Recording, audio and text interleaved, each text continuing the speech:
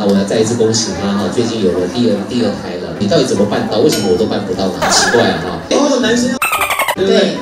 哦，这个可以不对啊。跟着老婆去旅行，二月十号正式上映。哎，嘉欣姐，你钱掉了，你果然不适合出席这种大场面。你看看，你看看，不要这样乱呐！一支枪是直接掉一一一坨钱，另外一支枪直接发射。嘉欣姐，你来乱来，从你去后面 setting 一下，哎，从重新来，你们三个先拍，然后趁他不在，我们先拍对拍。那个，我们以上有嘉欣的照片都帮我们删掉啊。你觉得这个戏里面最大的看点是什么？我觉得首先我们替大家去旅游，然后带回了一些就是二零二一前美好的回忆。那我要再一次恭喜他哈，最近有了第二第二胎了啊，这个很幸福的，未来又要再当妈妈。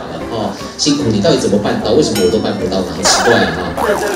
认真认真教书有在教啊，可能不要，因为我们都没有计划。哦，不要太计划，对，想来就来，不要想太多，不要想太多。然后就是冲热水，不要预期，冲热水，冲冰水，冲冰水。哦，男生要冲冰水，对不对？哦，这个可以省啊。冰水就是古法，我这我还真没听过，古法冰水，对，因为要保持那个冰。太好，谢谢哇！这个我还真没听过哎哈，以后我生出来，男的就叫小月明，女的就叫嘉谦，好吧？为了感谢你们的，谢谢焦哥，谢谢焦哥。好了，我们最重要是电影大卖，但是我要讲一个奇怪的事情，这部片到底关黄嘉谦什么事情？你也就一场戏，你今天搞得好像你是女主角。我现在叫黄妍希。你看是有人来，你叫黄妍希，因为妍希回不来，对不对？就是没办法，所以是黄妍希嘛。是，好了，你高兴就好，随便。对对有像吧？啊啊，看一下像像像像像吧？看一下什么叫做自取其辱？重现一下，重现一下，那你去那边，凤小月去另外一边，你别动啊，你这样，然后然后嘉欣靠着，然后凤小月 看他看他，然后做出不屑的表情。